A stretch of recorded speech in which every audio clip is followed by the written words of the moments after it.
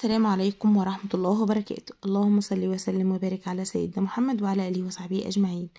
ازيكم يا سنة ستة؟ يا رب كلكم تكونوا بخير. في فيديو النهاردة إن شاء الله هنحل أسئلة lesson 1 في unit 7 من كتاب قطر الندى. هنحل أسئلة الدرس الأول في الوحدة السابعة من كتاب قطر الندى. قبل ما أبدأ معاكم بالنسبة لشرح الدروس بنزلها على صفحتي على الفيسبوك اسم الصفحة سر السعادة والحل بنزله على قناتي على اليوتيوب. ونبدأ ونقول بسم الله الرحمن الرحيم. طبعا أول حاجة جايب لي سؤالين على الدرس بقول لي answer the questions. يعني أجب عن الأسئلة. Why did the ancient Egyptians build the pyramids with granite?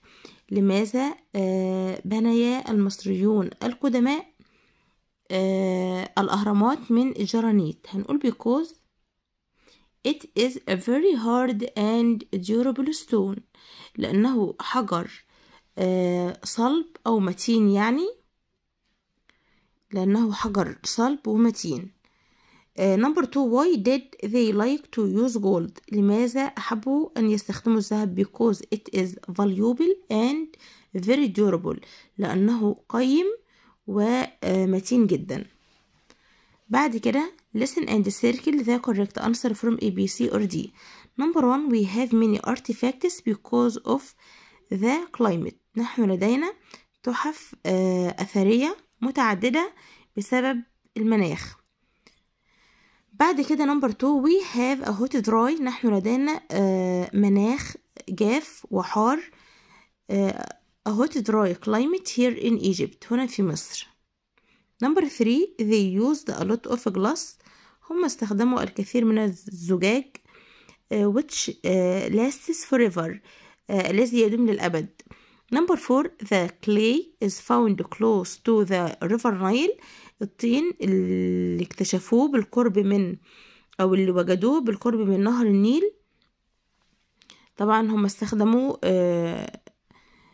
الطمي أو الطين اللي بالقرب من نهر النيل لصنع الاواني ده كده سؤال الاستماع بناء على القطعة اللي بتسمعوها بعد كده choose the correct answer from A, B, C or D.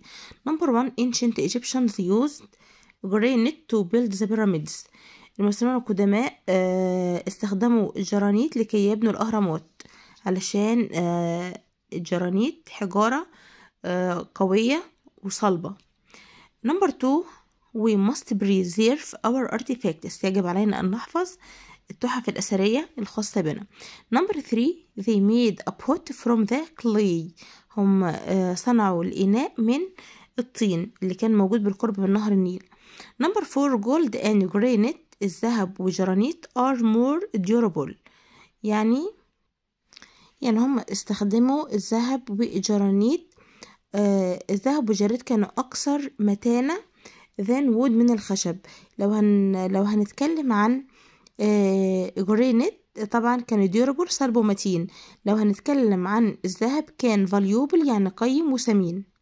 بعد كده عندنا read and complete the text with the words in the box Last Sunday الأحد الماضي I went to the museum أنا ذهبت إلى متحف of ancient history متحف التاريخ القديم I was excited أنا كنت متحمس about the materials آه عن المواد the ancient Egyptians used المواد اللي المصريين القدماء استخدموها they used glass هم استخدموا الزجاج which lasts forever اللي بيدوم للأبد uh, they also use the clay أيضا استخدموا الطين which is found الموجود close to the river Nile بالقرب من نهر النيل to make pots لكي يصنعوا الأواني ancient Egyptians المصريون القدماء were very clever كانوا ماهرين جدا they knew هم عرفوا that certain materials مواد معينة like granite مثل الجرانيت and gold والذهب could last التي تستطيع أن تدوم uh, a long time لمدة طويلة.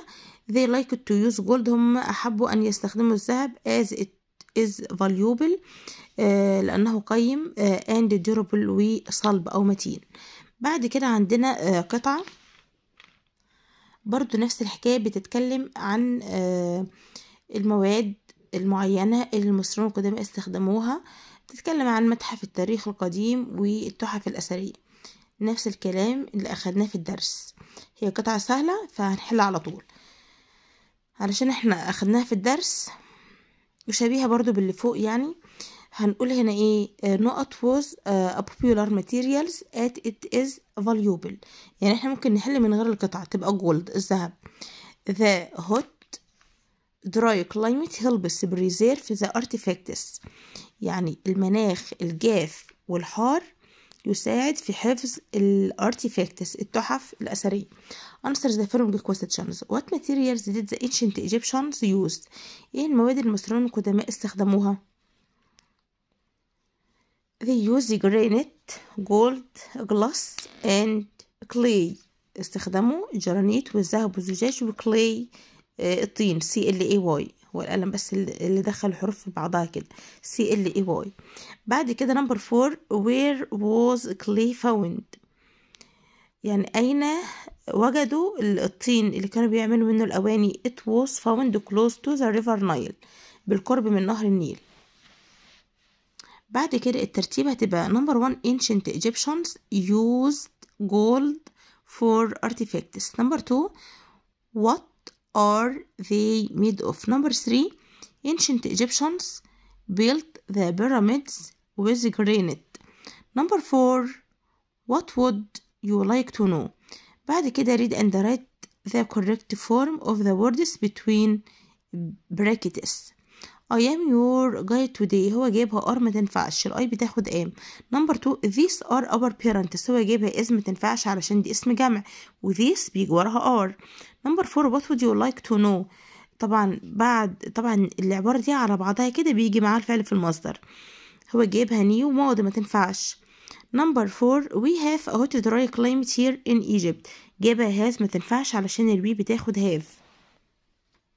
بعد كده ال punctuate الدبل في واي وفي الآخر ال question mark علشان ده سؤال. آه طبعا أي paragraph أو أو أي إيميل بنزله في فيديو لوحده على القناة.